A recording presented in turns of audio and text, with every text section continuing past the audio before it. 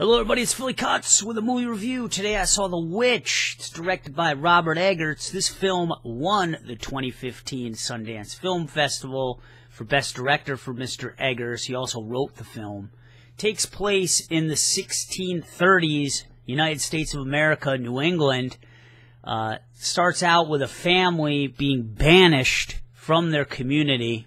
It's never really fully explained why this occurs.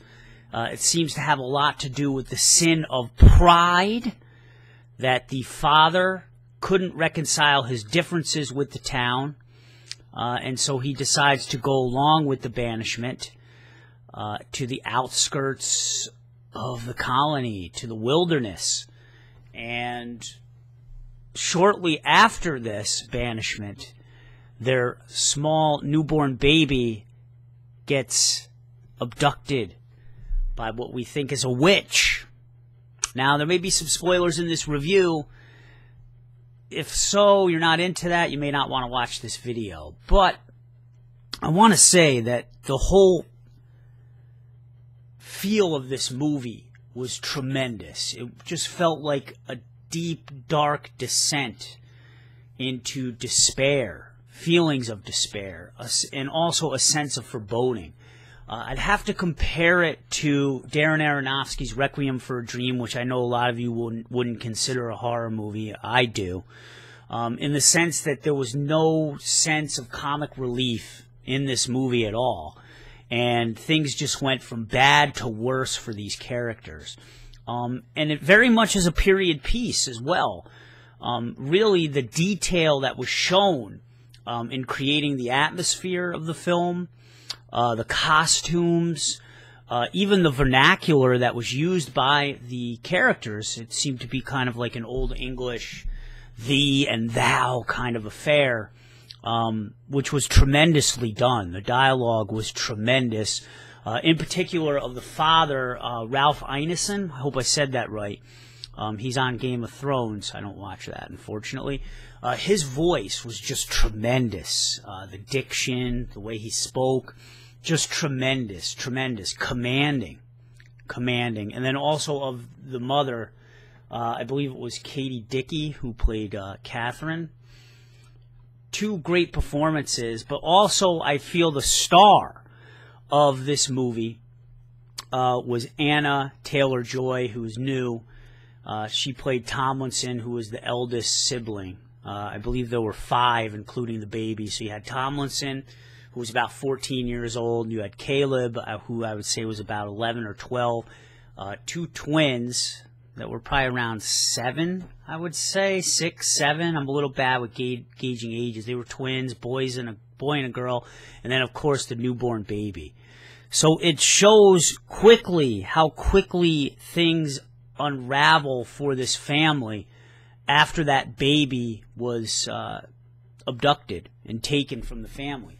But more importantly, it shows the movie shows how hard it must have been for a family to receive this sentence of banishment from a community and to be completely isolated and all alone, having to forge in that type of wilderness. Um, the father uh, is inept in the sense that he is not a very good farmer. Um, he certainly can't hunt very well. So there's lots of guilt about that, about not being able to provide for his family. Causes a lot of tension between him and his wife. You know, his wife has wishes and desires to go not only back to the colony, but all the way back to England.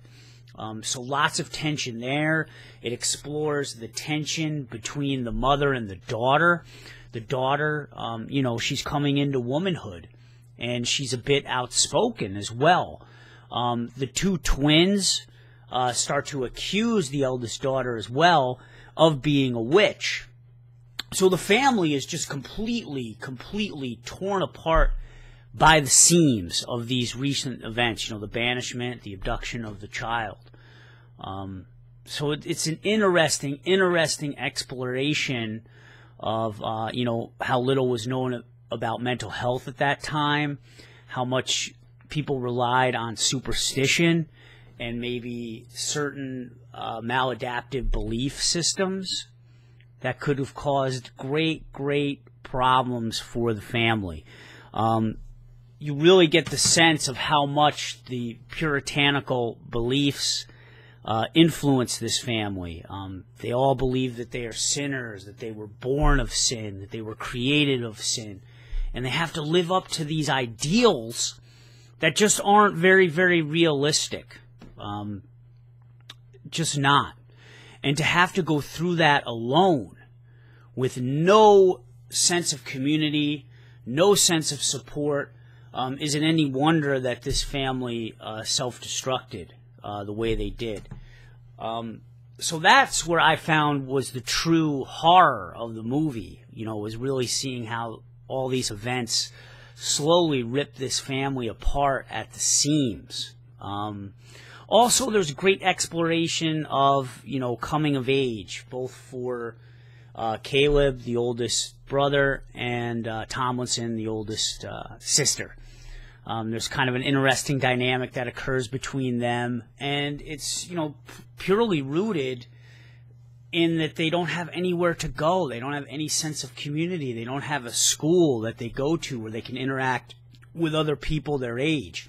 Also, the twins start to form kind of an unhealthy attachment or obsession, if you will, with the family uh, goat known as Black Phillip and I believe Black Phillip actually even has his own Twitter account right now at this moment.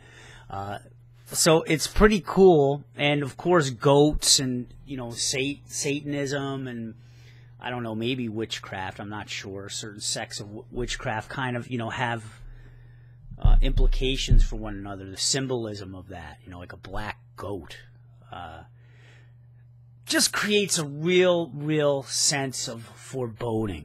Um, even the way the film was shot and the cinematography, uh, it just seemed everything was carefully planned and blocked. Uh, the pacing of the film I felt was excellent. Um, it did kind of lull a little bit. I don't know, maybe in the first third of the film, like it kind of started out like gangbusters, and then it kind of tapered off quite a bit. But it kind of showed the the hardness and the harshness of that kind of life at that time. So very, very unique exploration of uh, human suffering, I believe. Um, and it's worth, definitely worth taking a look. I don't want to say too much because I don't want to spoil it for you guys. But if you really like a slow burning horror movie uh, that makes you really think, that makes you kind of question certain belief systems, um, and how that may even relate to today. You know, how quick we are as a society to judge others who may be different from us. You know, the pressure to have to conform in society, the pressure to have to believe certain things in society.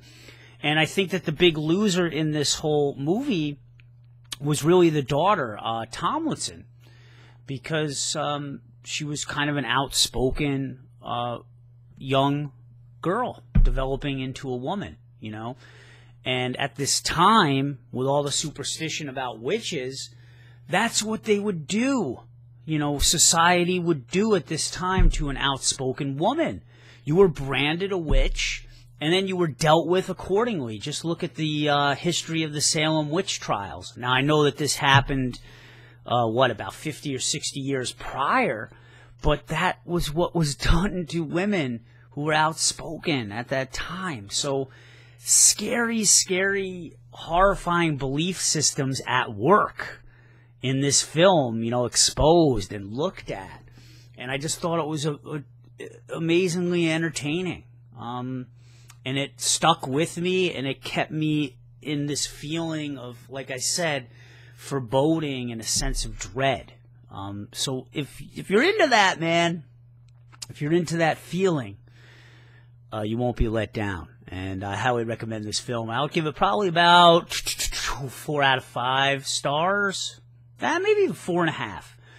I, the one thing, the one uh, thing that I didn't really like about the movie was the ending.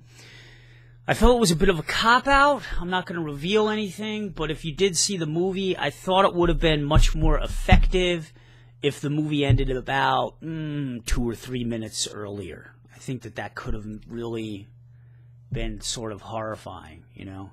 That part, well, I'm not going to say. I don't want to spoil it. All right, guys. That's Philly Kuts. Check this movie out, all right? Peace. Bye.